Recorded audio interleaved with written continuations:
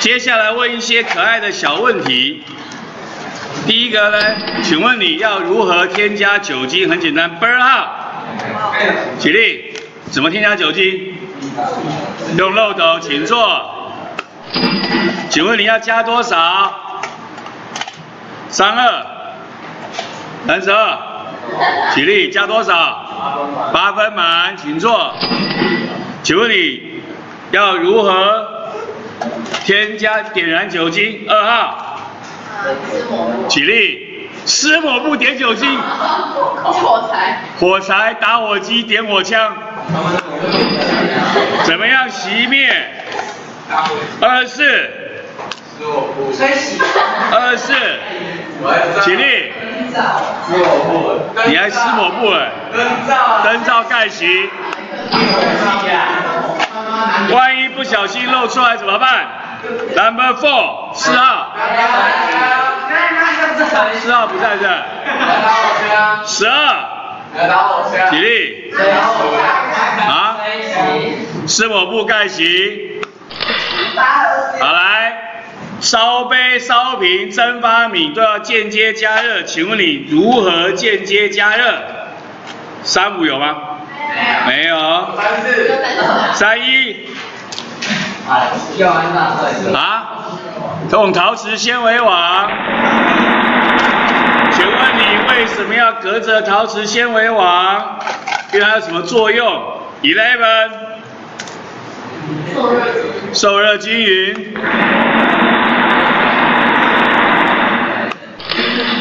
然后这个考过 N 边的大重点，如何稀释浓硫酸？二十二。这那个沿着用湿抹布代洗的。谁倒入谁啊？浓硫酸缓缓倒入水中，实时搅拌。为下面的，为什么要这样做？Number five，霹雳五号。霹雳五号。第五号。为什么要这样做？第五号。因为这个会产生什么事情？硫硫酸跟水会会怎么样？你跟上。请坐。浓硫酸有脱水性，溶于水会放出高热。倒过来做会有爆炸性的溅射，OK 吗？OK。来，这是旧课本的图，跟你讲过了。这上面每一个人做的事都是错的。酒精灯不可以用书本当做防挡挡风的，我们有挡风板，不要垫在书本上，旁边不要放一些易燃的物品。OK。实验室不可以奔跑、嬉戏、推挤、推人、撞人，啊、不可以吃，不可以藏，不可以藏化学药品。啊这两个人共同的错误是，他的加热的试管都朝人，这是错的。上面那大概多错的地方，他加热位置错了，他加了他让他的试管夹上烧起来了，啊，所以这是错的。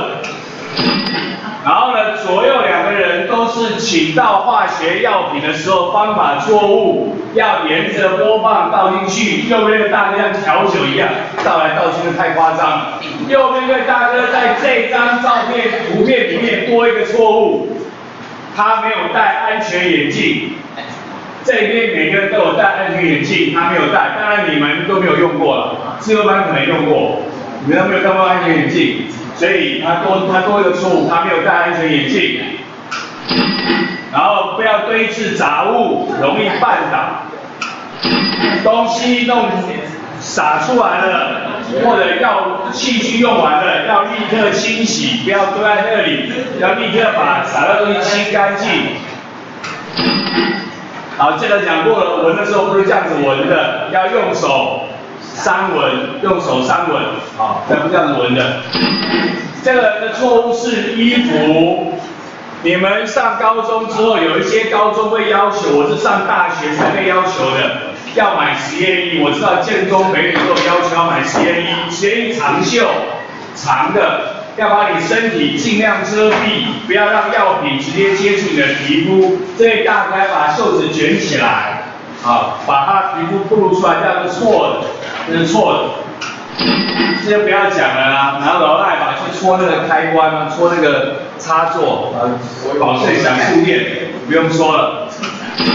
然后这个人他有两个问题，第一个问题是他在调药品做东西的时候，眼睛没有看着他的东西。第二个问题是留长头发的人要把头发绑起来扎起来，他到处乱飘烧着了，头发要要到处乱飘，包括衣服也一样，不要那种啊会飘来飘去容易被勾到绊到都不要有，都不要有，OK，好就这样，好在最后一个是不可以饮食，实验室禁止饮食，不可以吃东西，就是他的。这张照片上面每个人所犯的错，可以吗？可以。